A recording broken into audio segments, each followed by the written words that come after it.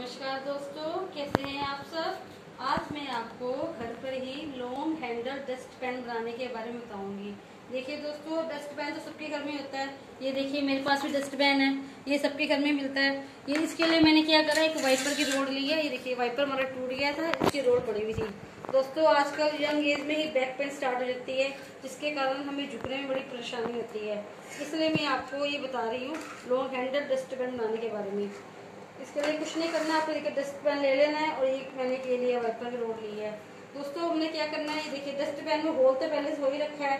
बस हमने ये करना है कि जितनी हमारे वाइपर के रोड का साइज़ है, उसके अकॉर्डिंग ही हमने इसको होल कर देना है। ये देखिए। अभी मैं आपको करके बताऊँगी नाइफ गर्म करके, ये आपके पास कोई सुनवा उसे गर्म करके, उसके अकॉर्डिंग आप इसमें होल कर लीजिए। ये देखिए दोस्तों, मैंने नाइफ गर्म कर ली है गैस पे। और ये देखिए बड़ी इजीली हो जाएगा ये। ये देखिए।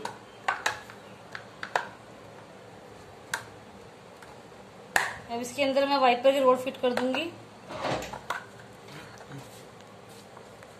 ये देखिए दोस्तों।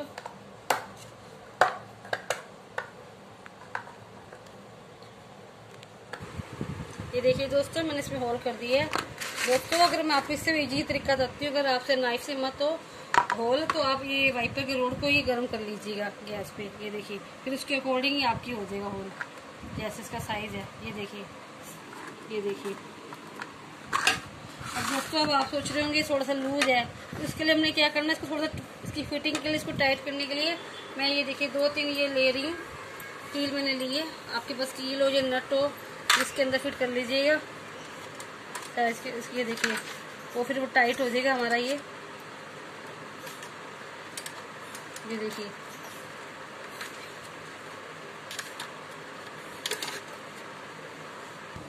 ये देखिए दोस्तों, ये हमारे फिट हो गया। इसके अंदर मैंने कीले फिक्स कर दिए हैं। ये देखिए, अब मैं आपको इसे गंद उठा के दिखाऊँगी, कचरा इसमें डाल के दिखाऊँगी। ये देखिए दोस्तों मैं कचरा डाल रही हूँ। इसमें हमें झुकना नहीं पड़ेगा ये देखिए कितनी इजली हमने इसमें कचरा अंदर डाल लिया डस्टबिन के अंदर। ये देखिए दोस्तों, ये हमारा बनके तैयार हो गया। ये देखिए। दोस्तों, अगर आपको मेरी वीडियो अच्छी लगे तो उसको लाइक करें शेयर करें। धन्यवाद।